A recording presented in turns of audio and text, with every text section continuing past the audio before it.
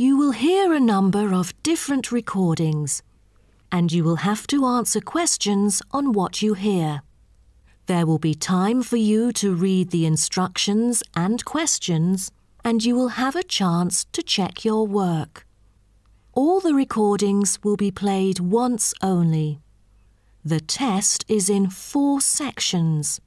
At the end of the test, you will be given 10 minutes to transfer your answers to an answer sheet. Now turn to Section 1. Section 1. You will hear a conversation between an agent from the Student Job Centre and a student who wants to find a part-time job. First, you have some time to look at questions 1 to 3.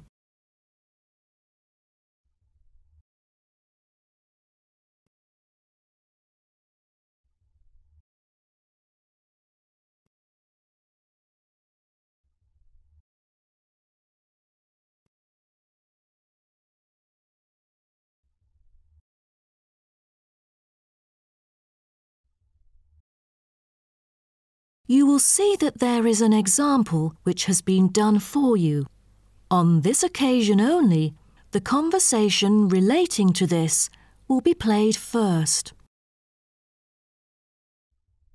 Good morning. Oh, good morning. Is this, uh, room number 316? Yes, that's right. So, is this the Student Job Centre? It certainly is. How may I help you? Well, actually, I'm looking for a job. A part time job. Do you have anything available at the moment? Ah, yes. Are you a registered student? I'm afraid this service is only available to full time students. Yes. I'm doing my degree in statistics studies. Here's my student card. Right. Well, let's just have a look at what positions are available at the moment. There is a job for social workers, and the workplace is in the House of the Disabled. The agent says that the workplace for social workers is in the House of the Disabled, so disabled has been written in the space. Now we shall begin. You should answer the questions as you listen, because you will not hear the recording a second time. Listen carefully and answer questions 1 to 3. Good morning. Oh, Good morning. Is this, uh, room number 316? Yes, that's right. So, is this the Student Job Centre? It certainly is. How may I help you? Well, actually, I'm looking for a job. A part time job. Do you have anything available at the moment? Ah, yes. Are you a registered student? I'm afraid this service is only available to full time students. Yes. I'm doing my degree in statistics studies. Here's my student card. Right. Well, let's just have a look at what positions are available at the moment. There is a job for social workers, and the workplace is in the House of the Disabled. That would be fine for me. What are the hours like? You'll have to work every day, and the payment is $9 per hour. However, the skills required are not very basic, so three days of training is needed. The pay is quite good, though I'm in my second year of study now and must attend some courses during the daytime, so I'm afraid I can't make it for this one. Do you have any other positions? You know, ones that I could spare more class free time on? That's not good then. Um, let's see. Here, there is one for security guards in the supermarket. What about the pay? The salary is pretty standard for this one. It's $25 per hour. Great. That's much higher than I would have expected. Are there any special qualities required? It sure offers quite a good salary. Um, there's almost no requirement for this job except that you must wear a uniform which is provided. That's very nice then. But what about exact working hours for this? I hope it will be okay for me. The working time is from 9am to 5pm, and you only need to work three days each week. Before you hear the rest of the conversation, you have some time to look at questions 4 to 10.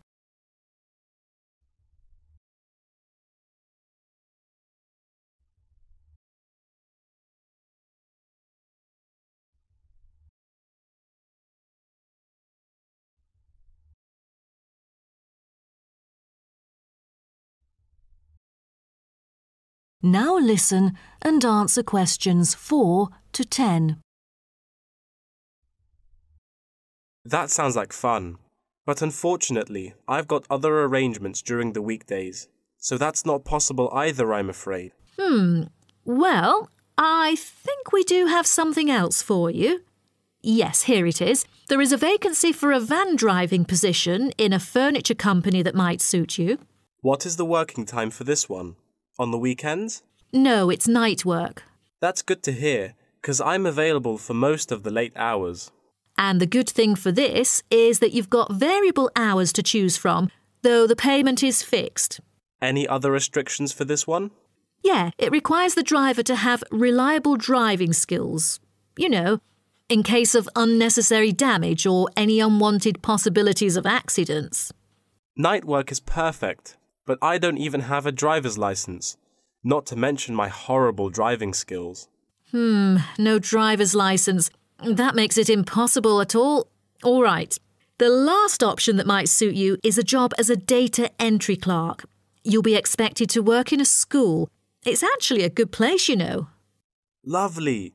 And what about the working hours? Not on weekdays, I hope. Actually, you'll be working only on weekends. You get a fixed salary and you're expected to be familiar with keyboarding skills. That's not the only limit, though, because I'm afraid personal transport is also a must. That's not a problem. I've got a bicycle to travel around with. Great. Now, just fill out this form and we'll see what to do next. Wonderful. That is the end of section 1. You now have half a minute to check your answers.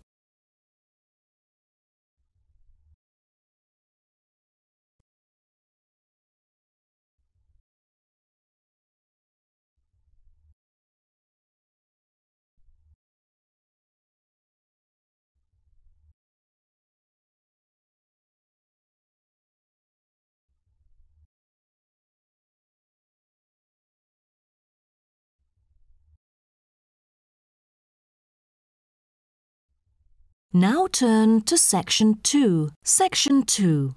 You'll hear a talk between an interviewer and an interviewee called Chris Evans from the Royal Caledonian Curling Club about ice curling. First, you have some time to look at questions 11 to 16.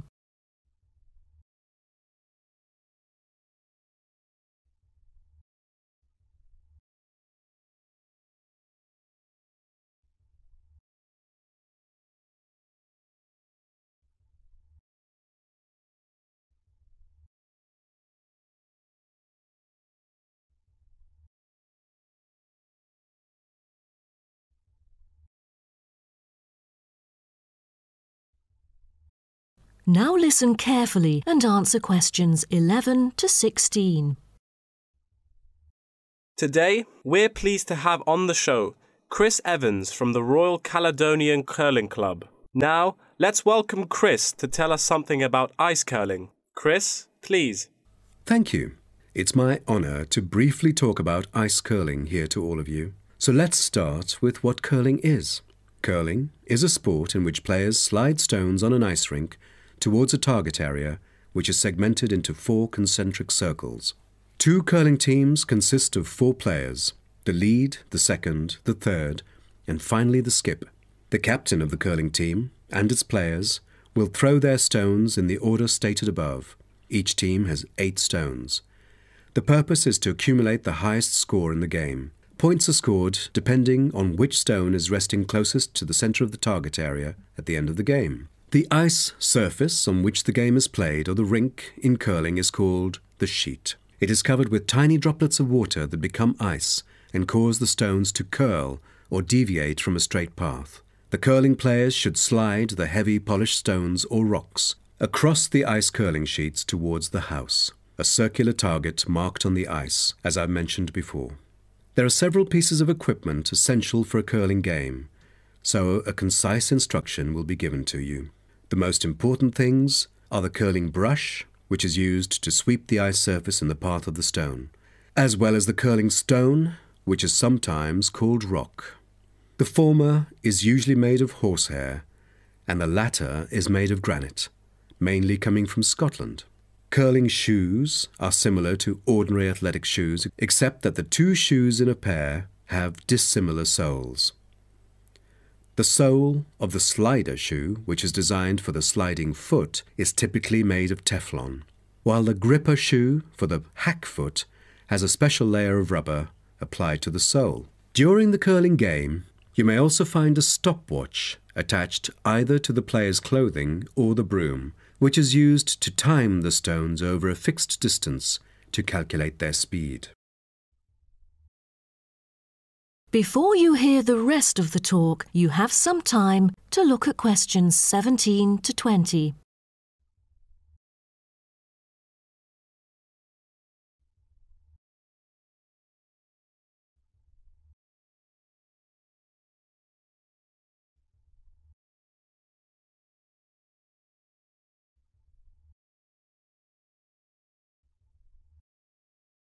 Now listen and answer questions 17 to 20. Now, a word about the development of curling clubs. Curling is thought to have been invented in medieval Scotland, and outdoor curling was very popular in Scotland between the 16th and 19th centuries, as the climates provided good ice conditions every winter. Kilsyth Curling Club is renowned as the first club in the world having been formally constituted in 1716 and widely influencing ice curling development. In Kilsyth today, both men's and ladies' sections are thriving, participating in all major competitions and having won championships in the British Open in the past. The mother club of curling, Grand Caledonian Curling Club, was instituted in 1838 for the purpose not as such to attract people's interest, but to regulate the ancient Scottish game of curling by general laws. With these official rules, the young curlers could be trained in a more professional way. By 1842, the new national club had sought to obtain royal patronage, and it has ever since been known as the Royal Caledonian Curling Club. However, many sports, such as athletics and tennis, were frowned upon as being too recreational and not practical enough so the Crown banned them by law during the 1300s, in the hope that men would instead practice the archery skills that were seen as vital to the country's defence. And the ban was lifted in the 17th century. So, do you know the reason for curling being kept during the 16th century? Is it because it was so popular, or because people from all ages like children could play it? The spirit of curling dictates that one never cheers mistakes, misses, or gaffes by one's opponent. And most importantly, all the team members should strictly follow the instructions of their captain, which is essential for men in battle. Curling was brought to Canada from Scotland, and some curling was played informally before 1800. Curlers often used iron curling stones made from melted materials such as cannonballs rather than granite until the early 1900s. Because there were transport problems importing granite stones from Scotland. That is the end of section two. You now have half a minute to check your answers.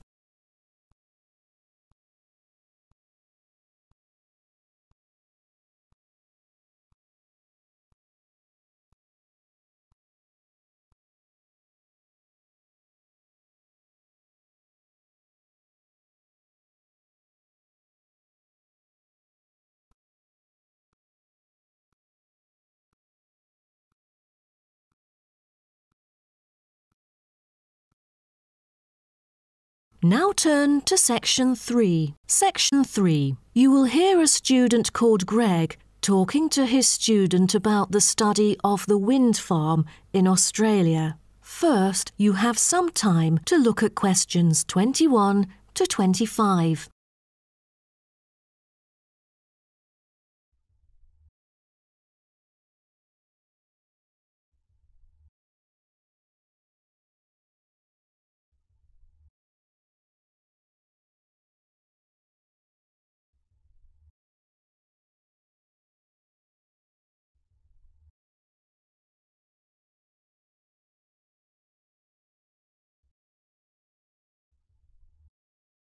Now, listen carefully and answer questions 21 to 25. OK, Greg. So I finally managed to read the article you submitted, the one about the study of the wind farm in Australia. You did? Great! What did you think of it? Yeah, I was a little confused at first because of the background information you failed to present on the paper. I mean, it's kind of important for you to give some general knowledge before you start actually writing on the main theme. Oh, I was thinking of doing that during the presentation session, but now that you have mentioned it, I could add it to the beginning of the essay. I've done some research on that to think about the different ways that people use wind. Wind is one of our cleanest and richest sources of power, as well as one of the oldest. Windmills began to be used in ancient Iran back in 7th century BC. They were first introduced to Europe during the 1100s when armies returned from the Middle East with knowledge of using wind power. For many centuries, people used windmills to grind wheat into flour or pump water from deep underneath the ground. During the 1970s, people started becoming concerned about the pollution that is created when coal and gas are burned to produce electricity. People also realized that the supply of coal and gas would not last forever. Then, wind was rediscovered and carried out into research for the first time.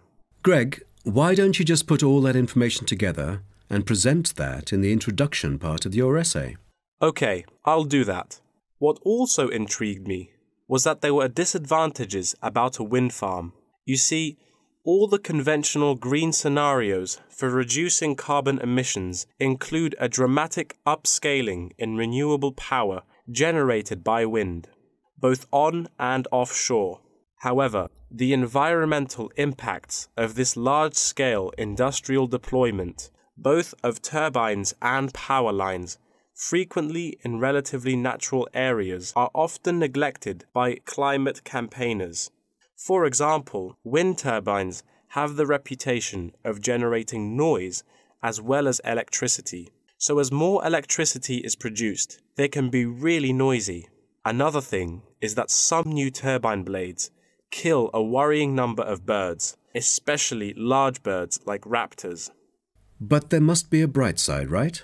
Yeah, of course, according to figures pulled together by consultants of the Intelligent Energy Systems using data from the Australian market operator, wind energy accounted for 50% of demand in the state.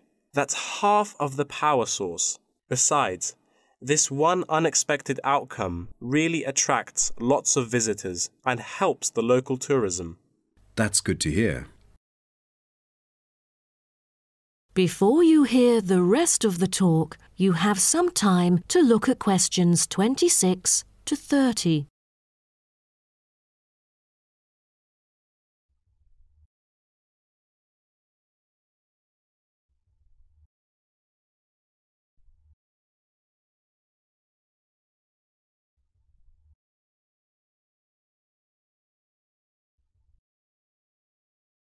Now, listen and answer questions 26 to 30. Oh, how about the structure? Offshore wind farms consist of a number of connected elements. These include the turbines, foundations, array cables, offshore substation, export cable, and onshore substation and infrastructure. Just a single one of these giant wind turbine blades produced by manufacturer Siemens, is almost as big as the Airbus A380, the world's largest plane. That's made in Europe. Impressive. Actually, at first, there were protests among residents who claimed themselves to be victims of land loss and noise. Then, policies came out really quick, and then they could get allowance from the government. From then on, things went smoothly. What would happen in extreme weather conditions?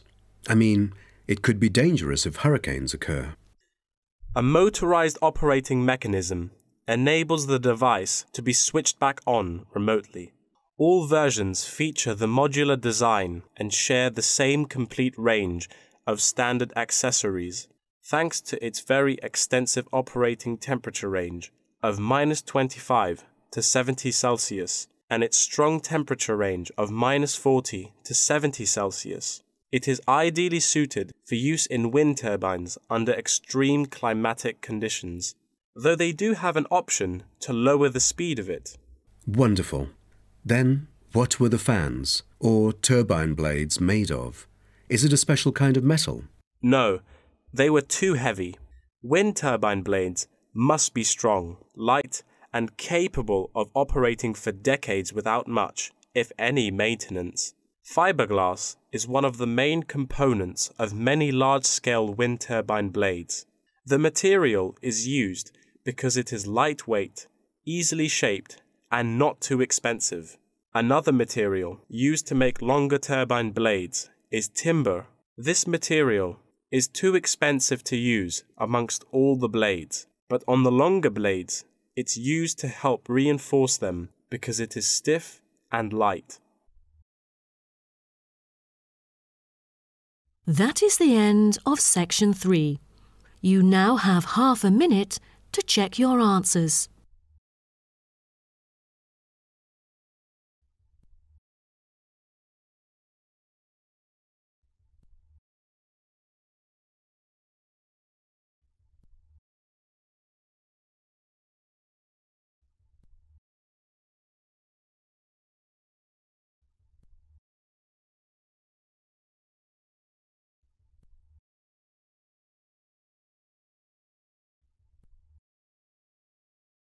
Now turn to section 4. Section 4. You will hear part of a lecture about tea tree oil. First, you have some time to look at questions 31 to 40.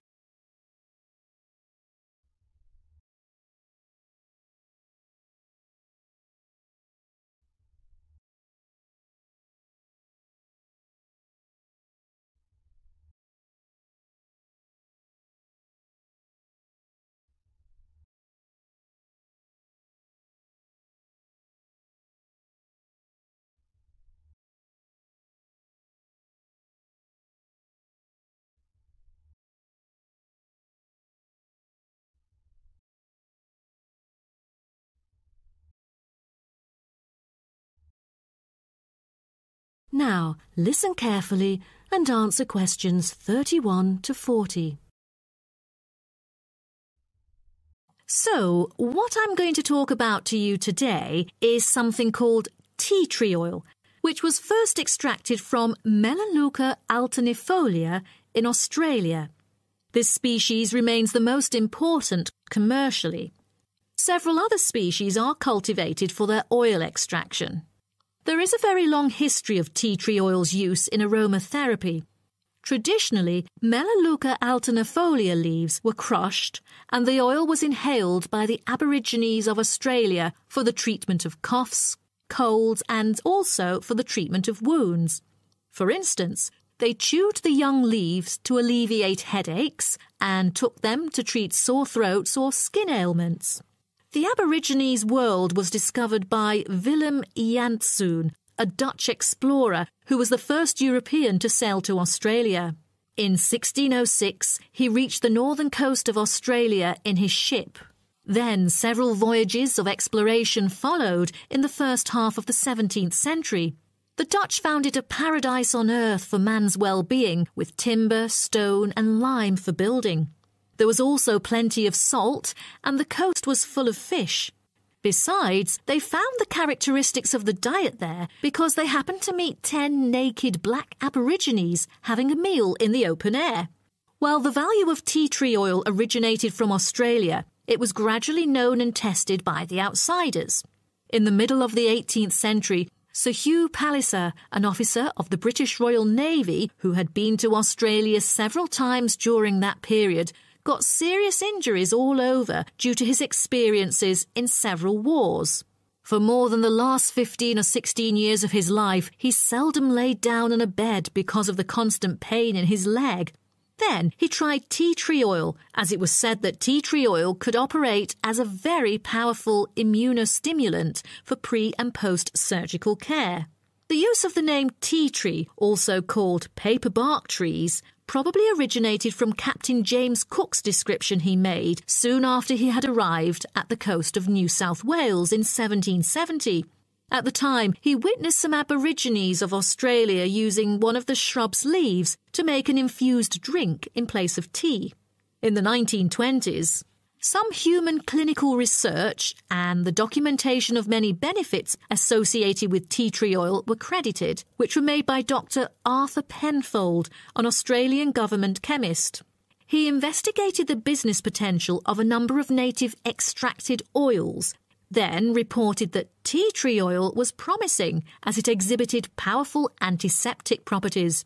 But after World War II, the entry of antibiotics declined the use of natural products in medicine, which had a negative effect on the production of tea tree oil.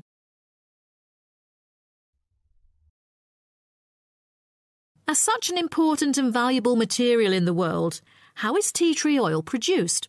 I think most of you are curious about this. Tea tree oil can be extracted in some different ways, but the most traditional way is steam distillation. Once harvested in winter, when the amount of required essence in oil meets the needs for production, the finely cut trees are transported to a steam distillation facility. The extraction is made by distilling the leaves in specially designed stainless steel stills along with the stems to yield pure oil. The water filled boiler is heated and constantly monitored to maintain the correct temperature. Both the steam and oil evaporate and then condense as they run through a pipe into the collecting container where the oil floats to the lid, while the water, because of gravity, goes steadily out the lower exit pipe. At the end of the hour, the oil is siphoned off through the upper pipe, while the condensed steam floats through the lower pipe towards the ground. At the end of each distillation, all the spent plant material is hauled out of the still pot by hand with a short rake, piled onto a trailer, and spread where required as a thick woody mulch. That is the end of section 4. You now have half a minute to check your answers.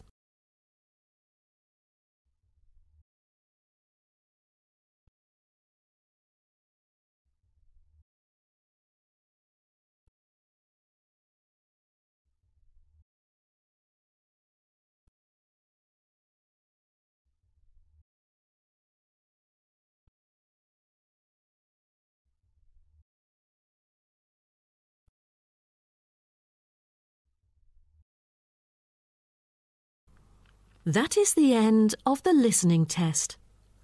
In the IELTS test, you will now have 10 minutes to transfer your answers to an answer sheet.